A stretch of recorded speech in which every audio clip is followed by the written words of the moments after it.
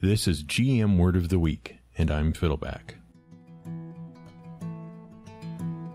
Yggdrasil. Suppose you are a generally good hearted barbarian in the worlds of Dungeons and Dragons. You do the right thing, for the most part. You have your vices drinking, debauchery, gambling, fighting, whatever. And for you, the most important thing is your personal glory. You don't care about king and country. You are in it for you. You are in it so that skalds will someday sing tales of your great deeds.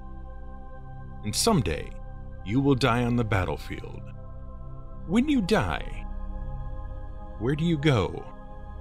Where is your Valhalla, your heaven, your Sto-vo-kor? Back in 1978, when Gary Gygax published his first treatise on the other worlds of D&D, the planes of existence, he mentioned the planes of the Gladsheim of chaotic good neutrals. These planes were situated between Olympus, the planes of chaos and goodness, and Limbo, the plane of chaos and neutrality. And there were three in total Asgard, Valhalla, and Vanaheim. And if you're detecting a Norse sort of vibe from all of these names, congratulations! You have the wisdom of Mimir. Gladsheim, like all of the planes, gradually evolved. It eventually became known by the name of its first layer, Ysgard, which is just another spelling of Asgard. What's a layer, you might ask? Well, it turns out that the outer planes in D&D are a little more complicated than we admitted when we discussed the cosmos last week. How is that even possible? The thing is, the planes come in layers, like ogres, onions, and parfaits. A plane is not just one generally infinite alternate reality. It is several generally infinite alternate realities stacked on top of one another. The first layer is relatively easy to get to, and you can access them through magic, portals, the astral plane, or by walking, if you know the right way. The other layers can generally only be accessed from the first layer. So the realms of Gladsheim became the layer of the heroic domains of Ysgard. The first layer, Ysgard, was a domain of wild, untamed wilderness and clashing natural forces, Wind, waves, storm, sky, mighty rivers, and jagged mountains separated by storm tossed seas. A wild place. It was also an eternal battlefield, where souls would clash in glorious conflict and then return from the dead every night to drink and revel. Eventually, this evolved into great island realms floating through an endless sky. For some reason. In the worlds that had them, the Norse gods mostly lived here. In the Forgotten Realms, Frey, Selûne, and Soma lived here. In Greyhawk, Olidammara lived here. Each lived in their own little region called a divine realm. The second layer, Muspelheim, was filled with lava and fire and jagged rock and obsidian, and it was home to Surtur, the god of fire giants. The third layer, Nidavellir was a constantly changing subterranean labyrinth and was the realm of certain wild and magically active dwarves. It also contained the land of Svartalfheim, the land of dark elves who had turned against their evil queen Lolth. And if you notice that Svartalfheim sounds a bit like swarthy elf home, yeah, you can work out the derivation for yourself. See, this whole entire list is basically a grab bag of concepts and other worlds from Norse mythology. And that's why this all sounds like overly long exposition for Marvel's next Thor movie. But arguably, the most interesting feature in all of Ysgard or Asgard or the heroic domains or Gladsheim or whatever you want to call them, arguably, the most interesting feature, particularly if you were a planar traveler, was nothing more than a big tree, Yggdrasil. The thing is, planar travel was kind of tricky. There were all sorts of rules about how you could get from point A to point B once those points were in completely different realities. Portals, transitive planes, spells, magic paths, there were all sorts of options, but they each had their own limitations. Anything that let you shortcut all the rules was super valuable in the world of Planescape. And Planescape had several special features that broke the rules features that spread between multiple planes. You had the rivers Styx and Oceanus that each wound courses through multiple realities. You had the magical infinite staircase that allowed you to climb from plane to plane if you were willing to hoof it. And you had the massive Yggdrasil. Yggdrasil, the World Ash, was a magical tree that grew up through all three layers of Ysgard. But that wasn't all. Its roots spread across the planes. You could follow the roots into the lower planes like Hades and the Abyss and Pandemonium. And its branches grew into various upper planes like Elysium and the Seven Heavens and Bytopia. And many of its roots and branches spread out into the prime material world as well. The natural world, where we all live. But you might call all of this ridiculous. After all, You've seen Thor and Thor the Dark World. You know that the worlds aren't linked together by some silly little tree. They are connected by a much more sensible bridge made of magic rainbows generated by a room made out of spinning CGI and protected by that guy from The Wire. But maybe, just maybe, you do remember Thor briefly mentioning something about a tree and the nine realms of Yggdrasil. Much of what we know about Old Norse mythology, particularly the cosmology of Norse mythology, is derived from two works the Edda and the other different Edda. And just to keep things confusing, there's a lot of arguments about what the word Edda even means.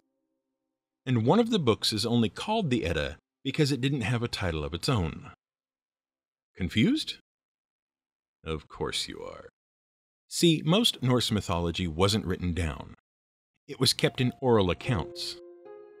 So we have to rely on compilations of these stories that came later on, and on the scholars who compiled them. In the 13th century, an Icelandic scholar and politician named Snorri Sturluson published a book that compiled a bunch of old, old Norse poems, epics, basically accounts of the mythology and offered a bunch of analysis and commentary on them. But his compilation was incomplete, and in many cases, scholars believe that he was attempting to reconcile Old Norse mythology with what was, at the time, modern Christianity. And some of his interpretations and translations and general worldviews were believed to be a little off. And most of the stuff he quoted, he quoted only partially, this book became known as the Prose Edda, or Snorra's Edda. The thing was, between 800 and 1400 CE, Christianity had started to take hold across Europe. And in 1000 CE, it became the official religion in Iceland. While the Germanic and Icelandic people had been strong in holding on to their quote unquote heathen lore, it was dying out due to a lack of good written accounts. Sturluson's book was sort of an attempt to keep the old faith alive and to modernize it. The thing was, the existence of this book proved that there must be some written accounts of Norse mythology somewhere. Sturluson had to be referencing something. He was quoting something. And other copies of Norse poems and epics had also surfaced, somewhat piecemeal though they were. People theorized that there must be another Edda, an Edda that isn't just commentary and partial writings, an Elder Edda. And in the 16th century, it turned up. A manuscript called the Codex Regius, the Book of the King, came into the possession of an Icelandic bishop named Brynjolfur Sveinsson.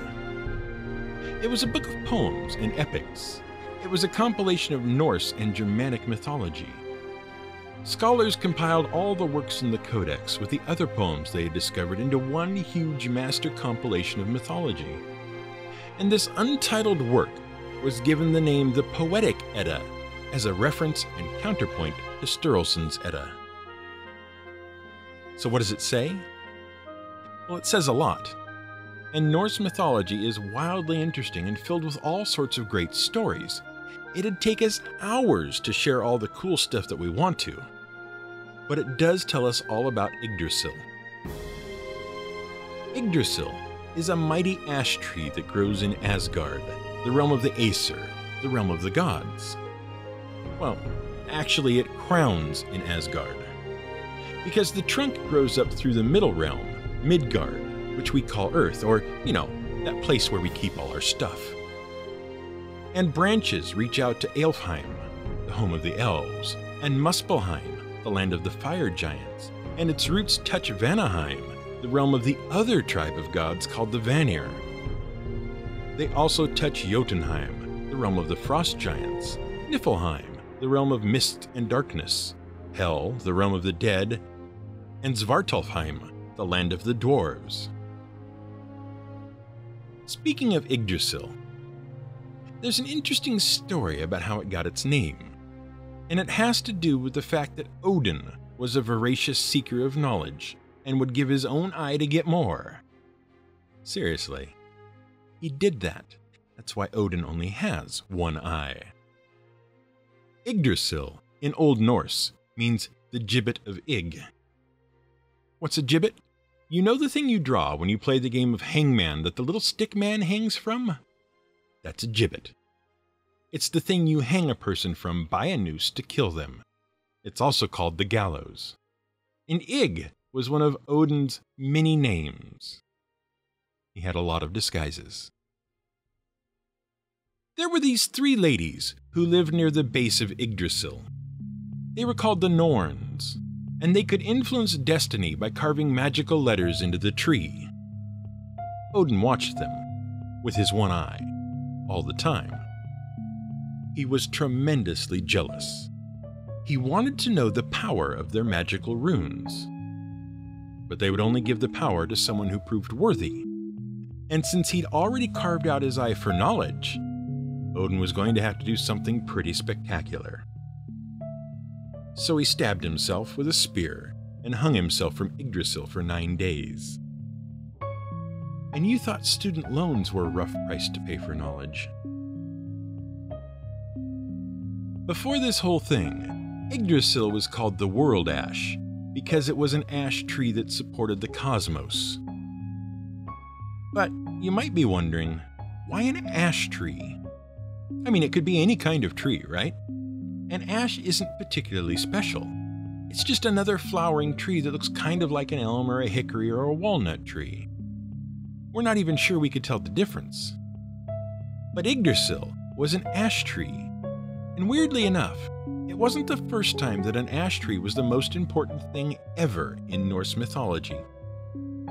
For example, Odin carved the first human from an ash tree branch as well. Not a branch from the world tree, he found an ash branch from any old ash laying around and made a person out of it.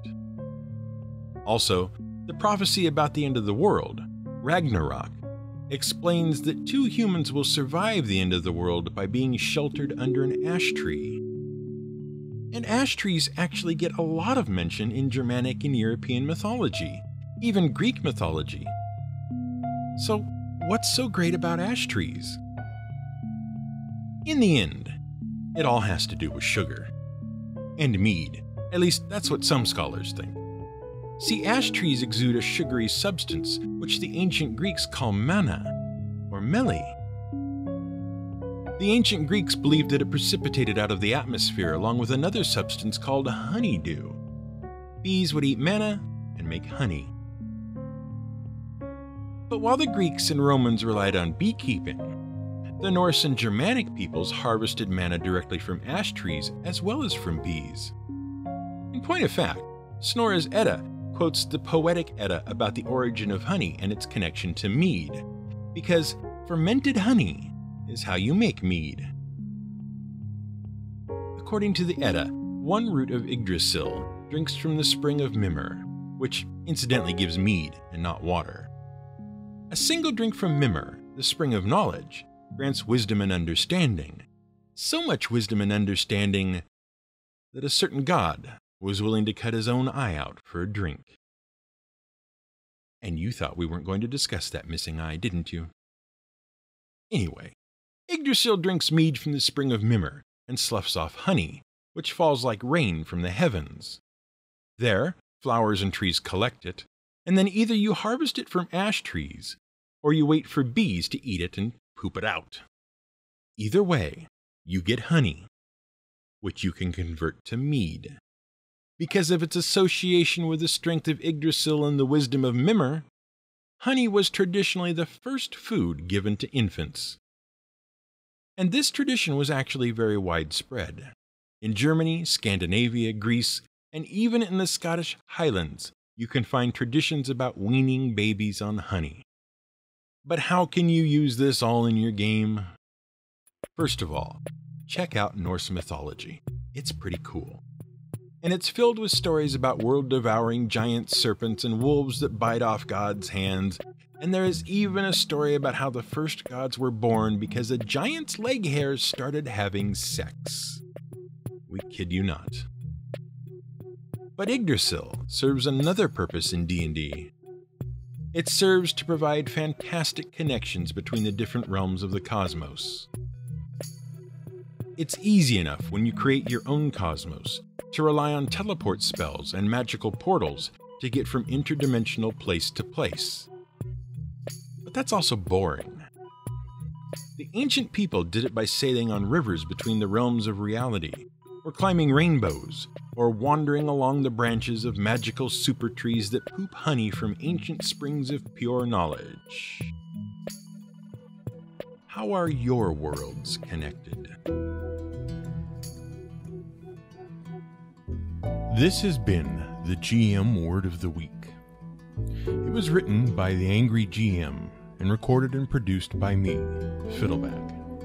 You can find more at theangrygm.com and madadventurers.com.